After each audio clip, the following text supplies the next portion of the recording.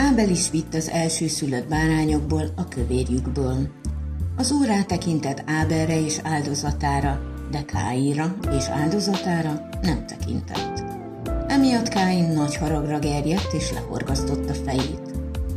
Ekkor azt kérdezte Káintól az úr, miért geredtél haragra, és miért horgasztod le a fejed? Káin is mutatott be áldozatot. Ez valószínűleg abban lett nyilvánvaló, hogy a föld rossz termést hozott.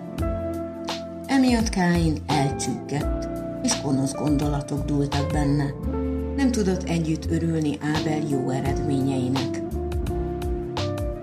Isten azonban idejében figyelmeztette Káint. Úgy jellemezte neki a bűnt, mint valami vérszomjas vadállatot, amely az ajtó előtt leselkedik, hogy rátörjön áldozatára. Mennyire fontos, hogy meghalljam az Úr figyelmeztető szavát és engedjek neki. Mert ebben az esetben a gonosz nem árthat nekem.